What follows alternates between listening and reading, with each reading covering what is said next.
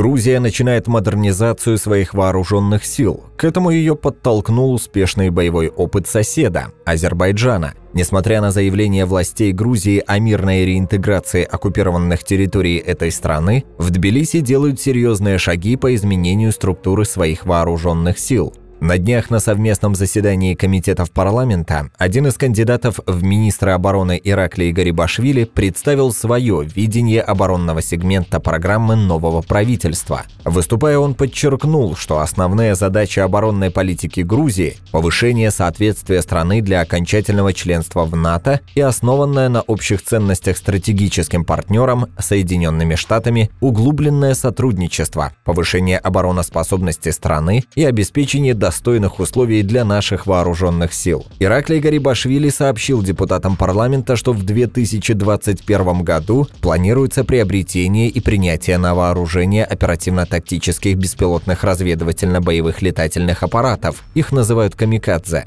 Маневренные и артиллерийские части будут оснащены современными летательными аппаратами без экипажа. В будущем году солдаты армии Грузии получат натовские винтовки типа М4, современные пулеметы, гранатометы и другое оружие. Сейчас в Грузии стоит на вооружении система противовоздушной обороны из Израиля «Рафаэль». В 2021 она будет модернизирована и обновлена с помощью израильских специалистов. Кандидат в министры также заявил, что в дополнение к имеющимся у Грузии американским противотанковым системам «Джевелин» будет приобретена новая их партия, а также новые зенитно-ракетные комплексы из США. Планируется развитие и военно-промышленного комплекса Грузии. Для этого уже начаты переговоры с Польшей, Чехией и Израилем с целью создания совместного предприятия.